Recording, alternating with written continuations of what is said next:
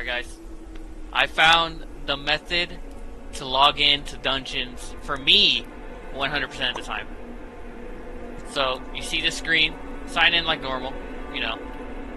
Do your, do your little thing. Um, let you sign in. Password.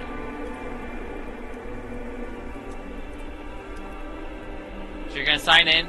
You're gonna get this black screen, which is completely fine because all you have to do is on your mouse, right click at some point. There it is, right click. You're gonna cook, and you're in. And you're in. This has worked every time. This is the fourth time it's worked in a row. It just works, bro. It just works.